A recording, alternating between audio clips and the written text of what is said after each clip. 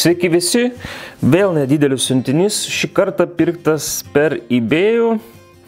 E, atkeliavo, kaip matote, iš Belgijos, Belžyk čia parašyta. Ir kas nustebino, atkeliavo per e, 26 išsiųstą, o aš pasiėmiau iš pašto lapkričio antrą dieną. Tai va, labai greitai. Ir taip, čia turėtų būti dėklas ir plevelė telefonui. Uh, telefonui tokiam vatasus. Nu, čia ne mano. Taip, užsakiau. Aš, už, aš užsakiau. Nu, va, šitas antid, antidrėgme. Drėgme kažkoks sugerintis milteliai. Taip, Nežinau, kainavo pakankamai nepigiai, nes labai sunku rasti būtent Asus, Asus tre, čia trečias yra, man atrodo, Asus trečiam aksesuarų. Bet, va, žiūrėkit, Nilkin, aš kažkada Nilkiną supirkęs ir rodęs jums, būtent šitos firmos neblogai laiko.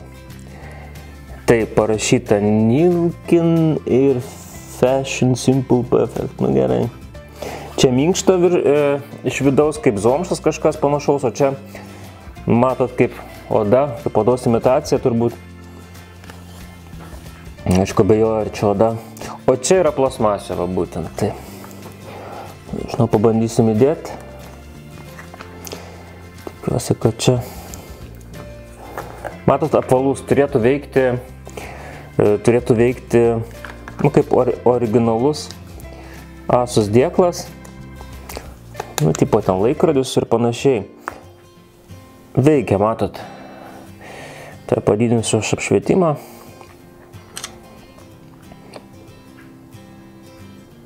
Taip, sekundę, matai. Aha, jūs nematot. Dabar matot. Va, matot, tik uždėjau ir asus kauba rodo.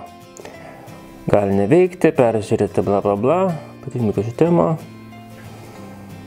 Nu, okei, okay, leisti, nu, leisti. O, tai pakankamai neblogai rodyti vaizdą su dėklu. Žodžiu, matot, iš karto supranta, kad yra uždėtas dėklas. Braukite išilgai apskirtimų, norėdami greitai daryti. O, fantastika. Wow. Neblogai. Braukite išilgai apskirtimų. Išilgai apskirtimų. A. Taip. Nu, žodžiu, reikia dar nusistatyti. Rodo, kad tai... A, o geras, žiūrėkit. Reiškia veikia. Neoriginalus dėklas, bet veikia. A. Dar svarbiausia, kad neuždengtų šitų skilių. Aha, veikia. Piršto trakinimas. Čia mygtukas. Mygtukai irgi, kaip matot, neblogai išsidėstė. Va, svarbiausia, kad matot, kamera įdubus yra, nes kai kamera išlenda, greitai nusibraižo.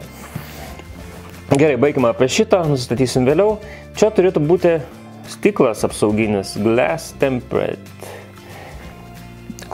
Explosion proof, bla bla bla, bla bla bla, fuasus, ta ta ta. Taip, mes test... Aha, dabar aš taip atsargiai išpakuosiu, kad ištekliuosiu čia gal instrukciją, kaip pakeisti.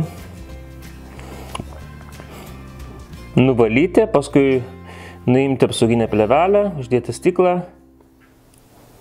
Ir viskas, uždėti. Va, pirmas nuvalyti. Remove date. A, drėgna servetėlė ir sausa servetėlė. Ir, o kaip pats stiklas atrodo, jis yra čia. Gerai pakuota, ne, o, va, štai čia yra apsauginis stiklas. Čia yra stiklas, ne plevelė, va dar, kad pakartoja, va tokia kieta. Tai va, nuorodas įdėsiu, kaip visada, apačioj. Iki kitų kartų.